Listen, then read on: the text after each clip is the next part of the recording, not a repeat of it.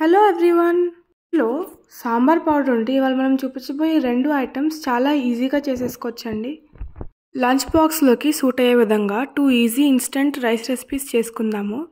ముందుగా బెండకాయలు నిమ్మకాయ ఉల్లిపాయ కరివేపాకు ఇంకా కొరియాండర్ని కట్ చేసుకొని పెట్టుకున్నాము. మనం బెండకాయ రైస్ అయితే వేసుకుంటున్నాము. సో ఒక ప్యాన్ తీసుకుని అందులో కొంచెం coconut oil and one cube butter add చేసుకొని తర్వాత పల్లీలు చన్నా దాల్ వైట్ ఉరద్ దాల్ ఆవాలు వేసుకున్న తర్వాత బాగా వేయించుకోవాలి.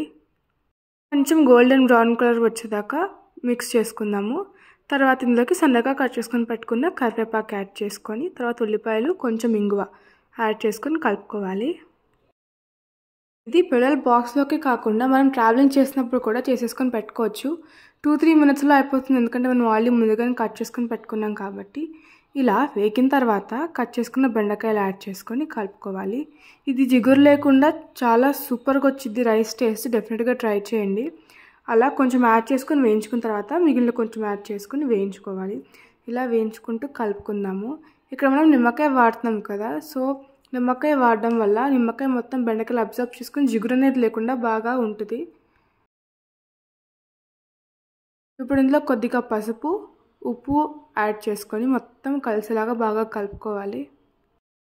మన ఛానల్లో ఇన్స్టెంట్ రెసిపీస్ సంబంధించినవి కొన్ని వీడియోస్ పెట్టామండి. ఆ లింక్స్ కూడా కింద డిస్క్రిప్షన్లో ప్రొవైడ్ చేస్తాము. వాచ్ చేయండి. ఫుల్ అనిపిస్తే ట్రై చేసి మాకు ఎలా ఉందో కమెంట్ చేయండి. అండ్ ఇక్కడ హాఫ్ నిమ్మకాయ చెక్క అయితే పిండుకుంటున్నామండి. మీరు ట్రై చేసిన రెసిపీస్ మాకు ఇన్స్టాగ్రామ్ పేజ్లో పోస్ట్ చేయొచ్చు. లింక్ కూడా డిస్క్రిప్షన్లో ప్రొవైడ్ అయి ఉంటుంది.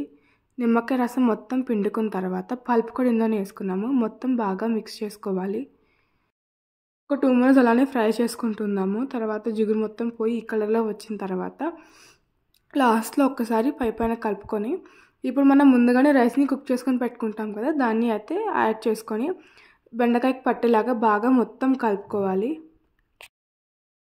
అండ్ మనం బెండకాయతో వడ కూడా చేసాము. అది తమిళియన్ స్పెషల్ బెండకాయ వడే అంటారు. ఆ రెసిపీ లింక్ కూడా కింద డిస్క్రిప్షన్లో ప్రొవైడ్ చేస్తామండి. వాచ్ చేయండి. మరి మీ రెసిపీస్ ట్రై చేసి ఎలా ఉందో మాకు కమెంట్ చేయండి. ఇది ట్రై చేసిన తర్వాత మీరు పిల్లలు బాక్సెస్లోకి పెడతారు కదా. సో తినని వాళ్ళు కూడా ఇది తిని బాక్స్ మొత్తం కంప్లీట్ చేసుకొని తీసుకొస్తారు. ఇలా కలుపుకున్న తర్వాత ఒక teaspoon sambar powder add చేసుకోవాలి. మనం తీసుకున్న క్వాంటిటీ ఆఫ్ రైస్ బట్టి సాంబార్ పౌడర్ అయితే మనం ఇక్కడ యాడ్ చేసుకుందాము. తర్వాత రైస్ మొత్తం కలిసేలాగా ఈ సాంబార్ పౌడర్ యాడ్ చేసుకుని బాగా కలుపుకోవాలి. సాంబార్ పౌడర్ యాడ్ చేసంటే తెలియదు జస్ట్ గుడ్ ఫ్లేవర్ కోసం అయితే మనం ఇక్కడ యాడ్ చేసుకుంటున్నాము. లాస్ట్లో కొంచెం కొరియాండర్ యాడ్ చేసుకొని కలిపేసుకుందాము. ఇలా కలుపుకున్న తర్వాత పక్కన పెట్టేసుకొని స్టవ్ ఆఫ్ చేసేద్దాము. అంతేనండి ఎమ్మీ అండ్ టేస్టీ బెండకాయ రైస్ రెడీ అయిపోయింది. నిమ్మకాయ వాడినట్టు తెలియదు అసలు పుల్లగా కూడా ఉండదు చాలా బాగుంటుంది టేస్ట్. సో ఇలా ఒకసారి కలిపేసుకొని బాక్స్లో అయితే సర్దేసుకుంటున్నాము. ఇది ట్రావెలింగ్ కానివ్వండి ఆఫీసెస్లో లంచ్ బాక్సెస్ కింద పిల్లల లంచ్ బాక్స్ కింద మల్టీపర్పస్ కింద యూస్ చేయొచ్చు. సో ఒకసారి మీ రైస్ ట్రై చేసి ఎలా ఉందో కమెంట్ చేయండి. సో ఇది ఒక్క రైస్. మనం ఇంకా డిఫరెంట్గా ఎప్పుడైనా వెజిటేబుల్స్ లేవు ఆనియన్స్ ఇంకా కొన్నే ఉన్నాయి అనుకున్నప్పుడు ఒక ఈజీ రైస్ ఐటమ్ చేద్దామండి. సో ఇక్కడ మనం ఆనియన్తో సింపుల్ ఇన్స్టెంట్ రైస్ రెసిపీ అయితే చూపిస్తున్నాము. ఒక ప్యాన్ తీసుకొని కొంచెం కోకోనట్ ఆయిల్ యాడ్ చేసుకొని వైట్ ఉరద్ దాల్ బ్లాక్ ఉరద్ దాల్ చనా దాల్ ఆవాలు ఇంకా కొద్దిగా జీరా యాడ్ చేసుకుందాం. తర్వాత కట్ చేసుకున్న కర్రీ లీవ్స్ ఉల్లిపాయలు యాడ్ చేసుకున్న తర్వాత బాగా కలుపుకోవాలి.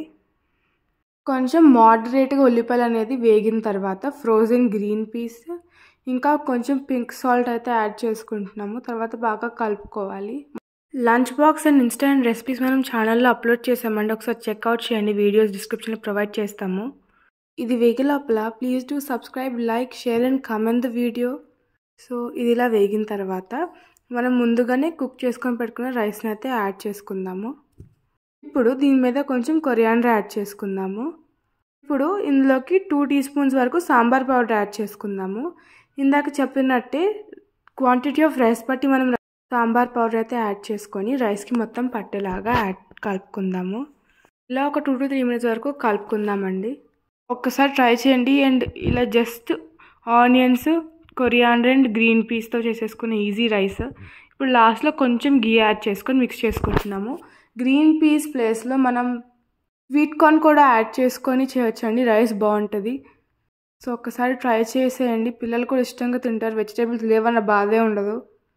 సో ఇలా బాగా కలిపేసుకున్న తర్వాత పక్కన పెట్టుకొని బాక్సెస్లోకి సర్దేసుకోవడమే ఇదన్నమాట ఇవాళ two easy and tasty recipes మీకు నచ్చింది అనుకుంటున్నాను please to subscribe to our channel and don't forget to like the video వీడియోని షేర్ చేయండి అండ్ ట్రై చేసి పోస్ట్ చేయడం మాత్రం మర్చిపోకండి. Thank you for watching have a great time bye